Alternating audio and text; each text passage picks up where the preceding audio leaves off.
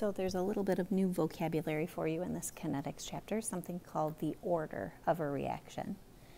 The order of the reaction is just the exponent of the concentration of a certain chemical in that rate law expression.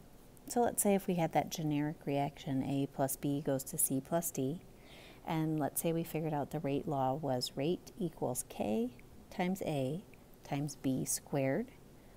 We would, the terminology we would use is to say that it's first order with respect to A and second order with respect to B.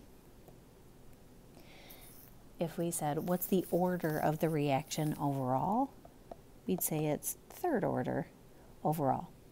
To get the overall order for a reaction, you just add the exponents together.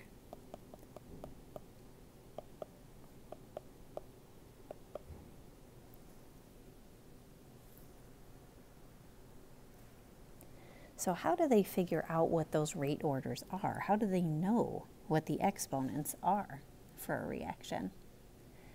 What they're going to do is they have to collect some data.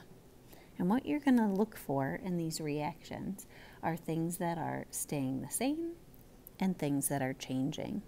So in when you look at experiment 1 versus experiment 2, and we look at the concentrations of our nitrogen monoxide and our chlorine. And when we look at the differences of experiment 1 versus experiment 2, we're going to keep the concentration of nitrogen monoxide the same in both trials. The thing that's different about trial 1 versus trial 2 is the concentration of our chlorine. We're doubling the concentration of the chlorine.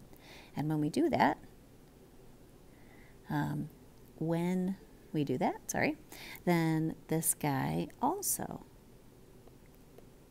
is doubled, right? When we go 1.43 times 10 to the negative 6, if we double that, 2.86 times 10 to the negative 6. So doubling the chlorine concentration ended up doubling the rate.